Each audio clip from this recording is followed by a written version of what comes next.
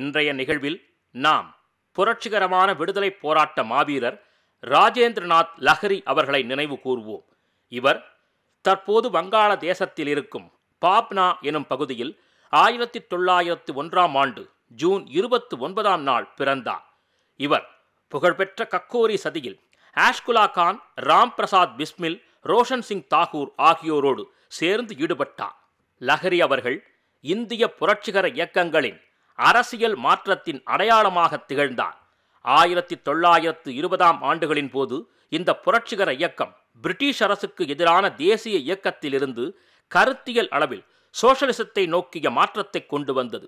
அதைப் போலவே மத நம்பிக்கைகளுக்கு பதிலாக நாத்திக சிந்தனைகளுக்கு கொண்டு சென்றது. லஹரி சமுதாயத்தில் நிலவி வந்த சமூக பழமையான மரபு வழி பழக்கங்களின் மீது கேள்வி எழுப்பினார். அது எந்த அளவுக்கு இருந்தது என்றால் பிராமணர்கள் அணியும் குறியீட்டுக்கு எதிராக குரல் கொடுப்பதாக அமைந்தது.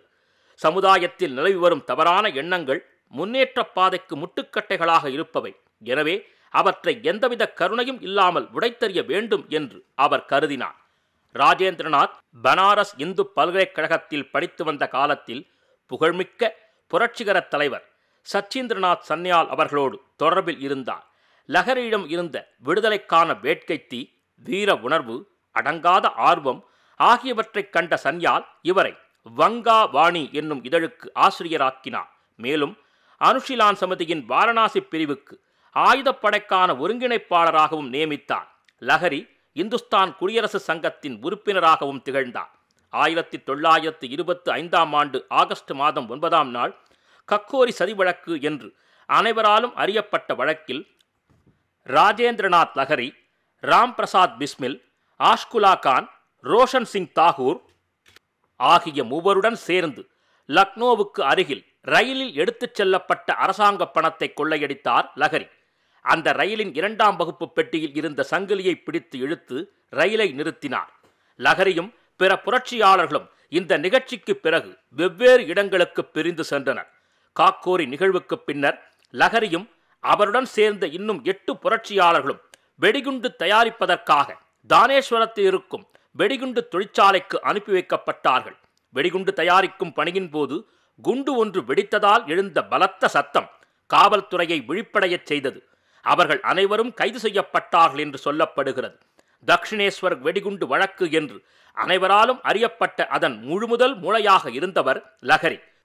பத்தாண்டு காலம் தண்டனை விதிக்கப்பட்டு அந்தமானில் இருக்கும் தனிமைச் சிறைக்கு அவர் அனுப்பப்பட்டார். எனினும் காக்கோர் ரயில் கொள்ளை வழக்கிற்கான விசாரணை தொடங்கியது.